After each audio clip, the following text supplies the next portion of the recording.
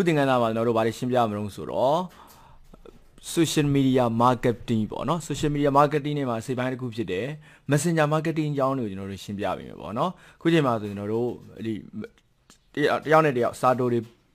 ပေးပို့တယ် private ပေးပို့တယ်ဒီ messenger တွေကအရန်ကိုဖြစ်စားလာတယ်ပေါ့နော်ဒီမှာကျွန်တော်တို့နာမည်ကြီးဆုံးကတော့ Facebook မှာ bidding ပါလာတယ် Facebook ရဲ့ messenger ပေါ့ဒါပေမဲ့ဒီ Facebook messenger ပြတခြားတွေလည်းအများကြီးရှိတယ်ဥပမာကျွန်တော်တို့ Viber တွေတို့ Line တို့ပေါ့နော် အဲနောက် WeChat တို့ Skype တို့အဲ့လိုမျိုး WhatsApp တို့အဲ့လိုတွေလည်းအများကြီးရှိတယ်အဲ့တော့ကျွန်တော်တို့ကဒီ Facebook ရဲ့အဲ့ဒီ Messenger marketing ကိုအရင်ပြောပြမယ်ပေါ့နော်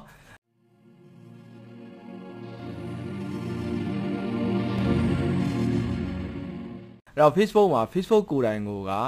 သူ့မှာဒီ marketing လုပ်လို့ရတယ် bot အသေးစားလေးပါတယ်ဒါပေမဲ့သူ့မှာလောက်ပိုင်ခွင့်ရတော့နည်းတယ်ပေါ့နော် အဲ့တော့ကျွန်တော်တို့ကသူ့ရဲ့လောက်ပိုင်ခွင့်ကျွန်တော်တို့ဘယ်လိုပြန်ပြီးတော့ချဲ့ကြမလို့ဆိုတော့ကျွန်တော်တို့လေ့လာကြအောင်ပေါ့နော်โอเคအဲ့တော့ဒီမှာအသုံးပြုတဲ့အဲဒီ Messenger app တွေရဲ့အသုံးပြုမှုဇာတ်လေးကိုကျွန်တော်ကြည့်ကြည့်အောင်အော်တော့ WhatsApp မှာတော့ WhatsApp ကတော့ထိတ်ဆုံးပါဒါပေမဲ့ဒါက2016 data အခု2019စင်တော့ထင်ပါတယ် Facebook Messenger ပဲထိတ်ရောက်သွားမယ်ထင်ပါတယ်။ဘာလို့လဲတော့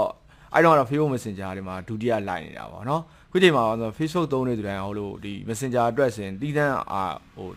message ဆိုတီးတန်း app သုံးမနေတော့ဘူးလေ။ Messenger မှာပဲသုံးတော့ပါပေါ့နော်။ဟိုမှာဆိုရင်တော့ China Best Platform တွေဖြစ်တဲ့ဟို QQ တို့ WeChat တို့ပေါ့နော်။အဲ့မှာ Skype တို့ Viber တို့ Line တို့အောက်မှာရှိလိမ့်မယ်။ Okay ။ Okay တော့ Facebook ကလည်း သူ့ရဲ့ဒီ Messenger မှာဝယ် bot data လေးတစ်ခုထည့်ထားတယ်။ဟိုမှာကိုဒီရဲ့ Messenger လေးဝင်လာရင်ဘယ်လိုနှုတ်ဆက်မလဲပေါ့နော်။အဲ့ဒီကနေမှအပြန်အလှန်နည်းနည်းပြောလို့ရတဲ့ဟာအစ်စ်နေအများကြီးတော့မပါဘူး။ရိုးရိုးရှင်းရှင်းလေးပေါ့။အဲ့လောက်ထိတော့သူကထောက်ပံ့ပေးထားတယ်ပေါ့နော်။ဒါပေမဲ့တကယ်လို့တကယ်ကို SME လုပ်ငန်းတွေအတွက်အဲ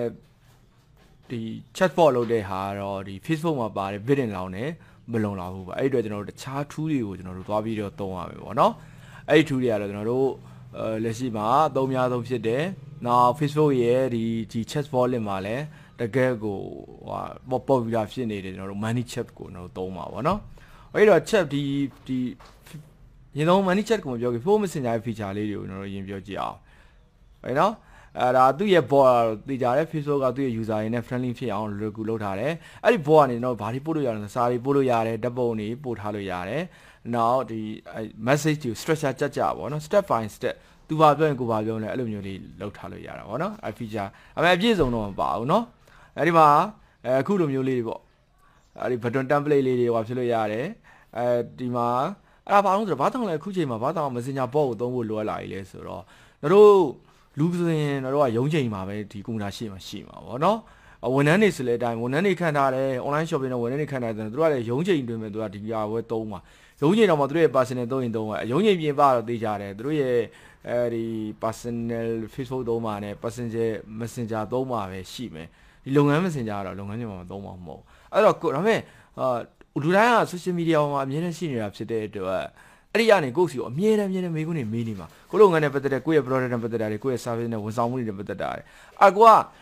မေးနေကြဟာတွေပြန်ပြီးတော့အလွယ်တကူဖြေဖို့လိုအပ်တယ်ကိုကိုယ်တိုင်လူကိုယ်တိုင်ဖြေမှဆိုရင်ကိုကိုယ်တိုင် online မှာရှိနေရမယ် internet ရှိနေရမယ်အဲနောက်အလုပ်ချင်းဖြစ်နေရမယ်အဲ့ဒါတွေပြောဖြစ်နေမှာကိုအိတ်နေတဲ့အချိန်ဆိုဘယ်လိုလုပ်မလို့ပေါ့နော်ကိုအိတ်နေဆိုရင်ဟိုဘက်ကနေမေးနေ auto ဖြေလို့ရအောင်အဲ့ဒါတော့တို့လုပ်ငန်းတိုင်းလုပ်ငန်းတိုင်း page time page time မှာ online shopping တိုင်းဒီ SME လုပ်ငန်းတိုင်းမှာဒီ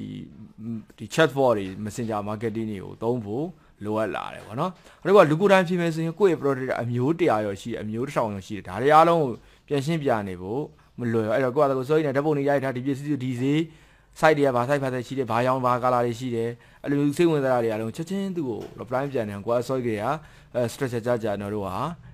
ပြင်ဆင်ထားရမယ်ပေါ့နော် okay အဲ့ဒီ board တွေကနေကျွန်တော်တို့ဟာ ဒီ user တွေဘာတွေပို့လို့ရအောင်ဆိုတော့ကျွန်တော်ပြောတဲ့စာတွေဓာတ်ပုံတွေနောက်သူ့ရဲ့ sign လိပ်စာတွေပေါ့နော်ဖုန်းနောက်ဆက်သွယ်မှာဖုန်းနံပါတ်တွေနောက်ပြီးတော့ဗီဒီယိုတွေ audio တွေအများအများကြီးပို့လို့ရတယ်။ Okay နားဒါဆိုတော့တို့ဘာကြောင့်အဲ Messenger chatbot တခုသုံးဖို့လိုအပ်တာအောင်ဆိုတာလည်းကျွန်တော်သိသွားပြီ။ Okay